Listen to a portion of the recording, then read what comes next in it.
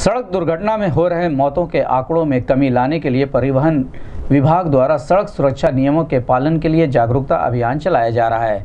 बुधवार को राजकीय जुबली इंटर कॉलेज में आरटीओ भीम सिंह ने विद्यालय के छात्रों को सड़क सुरक्षा संबंधित पोस्टर वितरित किए और वाहन चलाते समय किन किन बातों की सावधानी रखनी चाहिए इसके बारे में बताते हुए यातायात संबंधित जागरूकता के लिए शपथ दिलाई।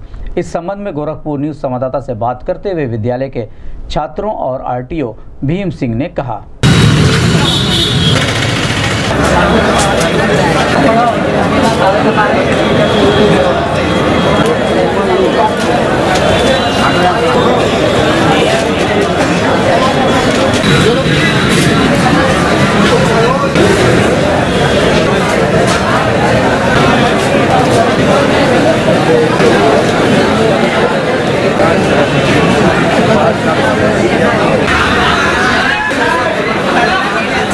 हमारे देश में लगभग जो सड़क दुर्घटना होती है प्रतिवर्ष डेढ़ लाख निर्दोष लोग कौन से लोग जिनका कोई दोष नहीं होता है कोई अपराध नहीं होता है वो सड़क दुर्घटना में अपनी जान गवा देते हैं और लगभग निर्दोष लोग घायल खत्म हो जाते हैं रिपोर्ट दी है वो कितना है ठीक है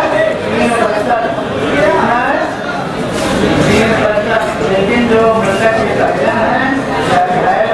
ये देखिए, अब इसको विद्यालय को क्यों चुना गया? ये प्रश्न उत्पन्न होता है, सड़क दुर्घटना तो हो रही है तो विद्यालय को क्यों चुना गया? विद्यालयों को के कारण है।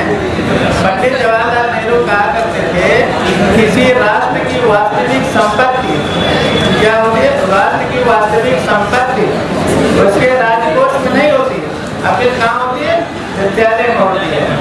और विद्यालय में क्यों होती है? क्योंकि बच्चे होते हैं और बच्चे देश के भविष्य होते हैं। और हम सबका दायित्व क्या है? बच्चों को संभाल करके उनको देश के लिए अच्छे शिक्षित योग्य नागरिक बनाए इसलिए पंडित नेहरू ने क्या कहा था? किसी देश की वास्तविक संपत्ति उसके राजकोष माने खजाने में नहीं होती, अभी तो विद्यालय पहला कारण ये। दूसरा कारण क्या है? विद्यालय शिक्षा के केंद्र होते हैं विकास बिंदु होते हैं, प्लेटफॉर्म होते हैं। जहाँ पर एकेडमिक शिक्षा दी जाती है मानव शिक्षा दी जाती है करेक्टर की शिक्षा दी जाती है है ना? इसी के साथ साथ ट्रैफ़िक डिसिप्लिन की भी शिक्षा दी जा सकती है। इसलिए विद्यालय को चुना गया। तीसरा क्या कारण है? बच्चे जो होते हैं, वो अगर एक बच्चे को अगर हम शिक्षित करते हैं तो केवल बच्चा नहीं शिक्षित होता। उससे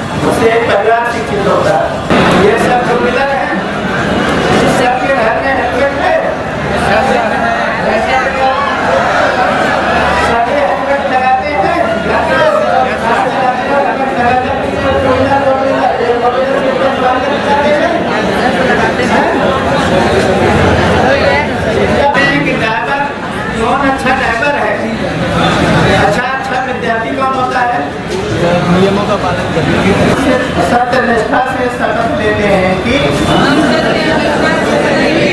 हम यातायात संबंधी समस्त नियमों का पालन करेंगे।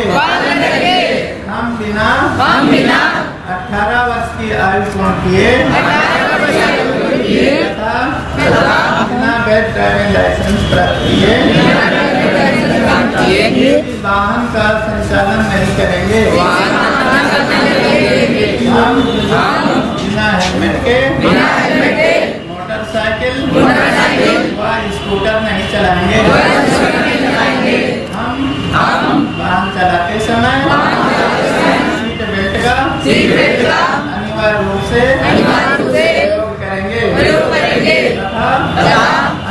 अन्य को भी प्रयोग के लिए प्रयोग के लिए प्रेरित करेंगे। प्रेरित करेंगे। हम हम खतरनाक ढंग से खतरनाक ढंग से वाहन का संचालन नहीं करेंगे। वाहन का संचालन नहीं करेंगे। हम व्यस्त होने के पश्चात वाहन चलाते समय पैदल एवं साइकिल यात्रियों का साइकिल यात्रियों का सम्मान प्रदान करेंगे। सम्मान प्रदान भी कभी भी नशे की स्थिति में वाहन का संचालन नहीं करेंगे। हम वाहन चलाते समय मोबाइल फ़ोन का प्रयोग नहीं करेंगे। हम वाहनों पर स्टंट आदि नहीं करेंगे। वाहन नहीं चलाएँगे। मीन्स पुलिस अभी किस पर बात किस पर दिलाई गई? हम लोग को मतलब सही से बा, बा, बाइक चलाने के लिए बोला गया था और मतलब ड्रिंक करके बाइक ना चलाएँ हेलमेट लगा के बाइक चलाएँ और मतलब बाइक से स्टंट ना करें बाइक का सही यूज़ करें। और कार चलाएँ तो सीट बेल्ट पहन के चलाएँ। आप बताइए आप क्या लगता है इसका पालन कितना पालन हो पा रहा है अब शहर में तो बच्चे पालन इसका नहीं करते हैं। हो सकता है इससे कुछ कम हो। नियम का पालन किया जाए। यहाँ यातायात संबंधी नियमों का पालन बताया गया है। असल में एक भाषण प्रतियोगिता कराई जा रही है। पहले स्थानीय स्तर पर हुई जनपद स्तर पर आज मंडल स्तर पर है। और उसी के साथ साथ इस विद्यालय में उस कार्यक्रम का आयोजन किया जा रहा है और साथ साथ बच्चों को यातायात नियमों के संबंध में जानकारी दी गई, शपथ दिलाई गई और उसके बाद डिबेट कम्पटिशन है।